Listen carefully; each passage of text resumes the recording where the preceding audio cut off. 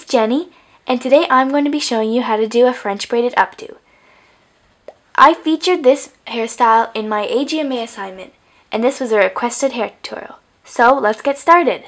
For this hairstyle, you will need some water to wet your doll's hair with, an American Girl or any wire wig hairbrush, two elastics, the size doesn't matter, and two bobby pins.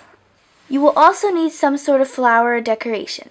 This is just the flower from the American Girl Cafe that I've put elastic around to make into a little clip.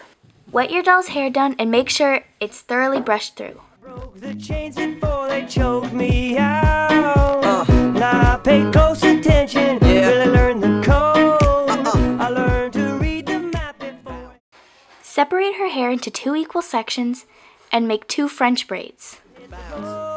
Hey yo, I know you never heard this before, but I'd rather lose a fight than miss the war. And I ain't wishing competition or fishing for it. I'm just living in a system, conditions are poor. I've been lost in the rhythm and misinformed. Too many late nights hitting the liquor store. Too many bad decisions, half-ass attempts. No sweat, no fear, no blood, no tears. I go hard, and I ain't making up no excuse. I'm overdue, I don't do what I'm supposed to do. Cause if you think about it, man, we're supposed to lose. It ain't all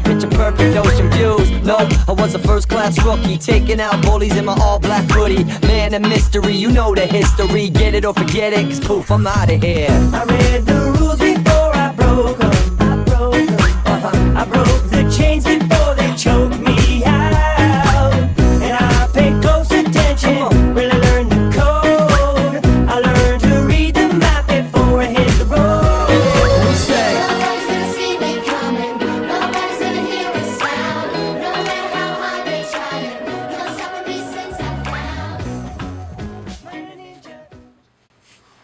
When you're done with the braid, tie it off with an elastic. Also, to keep the piece inside, take the elastic and only pull it through halfway. So you get something like this.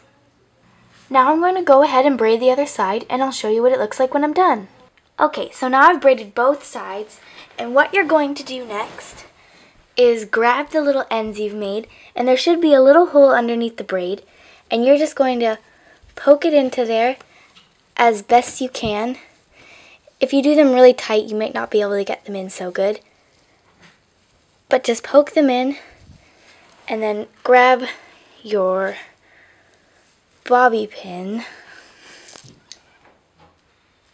and just pin it so it doesn't fall out.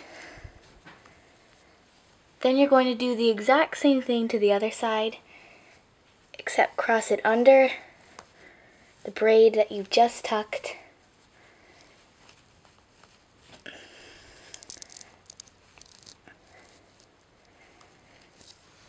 And then you just pin it with a bobby pin. After you've done this, you'll notice that there is a little hole between the braids. So this is where you put in your flower and I just tuck it in like that. When you're done, it should look something like this. I hope you enjoyed this hairstyle and thank you for watching.